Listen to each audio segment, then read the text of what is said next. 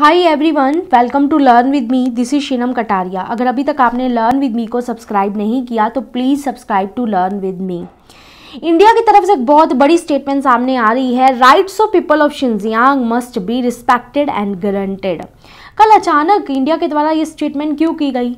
Xinjiang province को लेकर Xinjiang reason को लेकर। देखिए, चाइना के अगर आप वेस्टर्न में देखेंगे तो शिनजियांग रीजन है। उसी को लेकर ये भारत ने बोला है कि वहाँ के लोगों के जो अधिकार हैं, वो भी गारंटेड और रिस्पेक्टेड होने चाहिए। एक्चुअल में कल हुआ क्या ना? United Nation Human Right Council की अगर मैं बात करूँ तो वहाँ पे एक वोटिंग करवाई गई। वोटिंग इसी चीज़ को लेकर करवाई गई कि जो चाइना है, उसके द्वारा इस शिंजियांग रीजन में जो लोग रहते हैं, उनके साथ गलत व्यवहार किया जाता है। उनके ह्यूमन राइट को प्रोटेक्ट करने के लिए ये वोटिंग करवाई गई तो इंडिया ने कल उस वोटिंग से एब्सटेंड कर दिया अपने आप को। मतलब उस वोटिंग में पार्टिसिपेट ही नहीं किया। उसके तुरंत बाद ही जब जैसे ही इंडिया ने पार्टिसिपेट नहीं किया, ये वर्ल्ड मीडिया इंडिया मीडिया में ये खबर फैल गई तो उसके तुरंत बाद ही इंडिया की तरफ़ से ये स्टेटमेंट आती है कि rights of people of Xinjiang must be respected and guaranteed और इस आर्टिकल में जो मिनिस्ट्री ऑफ़ एक्सटर्नल अफेयर के स्पोक्स पर्सन हैं, उनके द्वारा ये भी बताया गया है कि इंडिया ने कल वोटिंग करने से मना क्यों किया है। यहाँ पे आप रीड कर सकते हैं rights of the people of the autonomous region in China Xinjiang should be respected and guaranteed ये इंडिया के द्वारा कहा गया है। इंडिया ने कल वोटिंग करने से मना कर दिया यूनाइटेड नेशन हाई कमीशन में तो उसके बाद ये स्टेटमेंट आता है। यहाँ पे आप देख सकते हैं, इंडिया की तरफ़ से ये भी स्टेटमेंट आई है कि जो ह्यूमन राइट है, जो पीपल है शिंजियांग के, उनके रिस्पेक्टेड होने चाहिए गारंटेड होने चाहिए। और इंडिया ने ये भी कहा है कि हम होप करते हैं, जो रेलिवेंट पार्टी है, वो इस सिचुएशन को ऑब्जेक्टिवली और प्रॉपरली एड्रेस करेगी। ये कहा गया है Ministry of External Affair spokesperson Bagchi Bagchi की तरफ़ से। Why India abstained from voting अब ये बात महत्वपूर्ण बात है।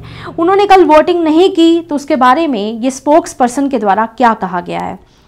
उन्होंने ये बोला है कि इंडिया की जो फॉरेन पॉलिसी है, वो बड़े लंबे टाइम से कभी भी किसी कंट्री के स्पेसिफिक रेजोल्यूशन पे वोट नहीं देती। और एक ऐसे सिचुएशन में हम आज खड़े हैं, जहाँ पे ये चीज़ निकल के आई है इंडिया और चाइना ऑलरेडी ईस्टर्न लद्दाख को लेकर आपस में लड़ रहे हैं। और इंडिया ह्यूमन राइट के साथ हमेशा खड़ा रहता है, हमेशा कमिट करता है।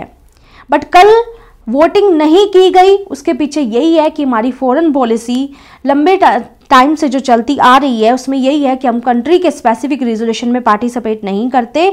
और आज की सिचुएशन कुछ ऐसी भी सिचुएशन है जिसमें चाइना और इंडिया ईस्टर्न लद्दाख को लेकर लड़ रहे हैं। और यहाँ पे उन्होंने ये भी बोला कि इंडिया और चाइना के बीच में जो बॉर्डर को लेकर, जो ईस्टर्न लद्दाख को लेकर जो लड़ाई है, वो कहने को तो ये कहा गया है कि वो सिचुएशन जो है वो स्टेबल हो गई है बट वो सिचुएशन स्टेबल नहीं हुई है अभी।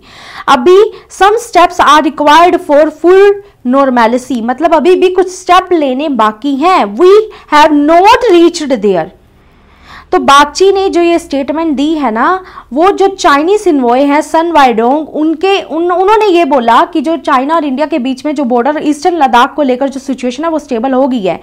तो उसके रिस्पॉन्स में बागची ने ये बोला कि अभी सिचुएशन नॉर्मल नहीं हुई है। और उन्होंने एक स्टेटमेंट और भी बताई है, उन्होंने ये कहा है कि जो सिक्स इंडियन प्रिजनर्स थे, उन्होंने अपनी जेल टर्म कंप्लीट कर ली थी। उसके बाद भी उन्हें पाकिस्तान में मतलब पाकिस्तान में उनकी मृत्यु हो गई अगर यहाँ पे और बात की जाए तो उन्होंने अपनी जो सेंटेंस थी, जो अपनी जेल थी, वो कंप्लीट कर ली। फिर भी पाकिस्तान के द्वारा उन्हें इलीगली डिटेन किया गया। तो ये सारी जो चीज़ है, ये इंडिया ने बताई है कि कल उन्होंने वोटिंग करने से मना क्यों किया है। Thank you for watching this like share and subscribe